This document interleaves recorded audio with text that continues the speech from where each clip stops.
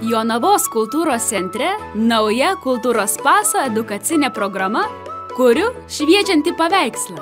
Piešimas ant šviečiančių molbertų - tai unikali, išskirtinė, netradicinė priemonė skirta kūrybiškumo ugdymui.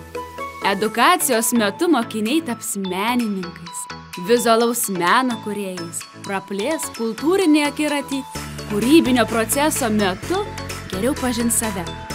Kultūros paso užsiemimai vyks moderniai įrengtoje meno galerijoje, kurioje savo darbus eksponuoja Jonavos ir Lietuvos menininkai.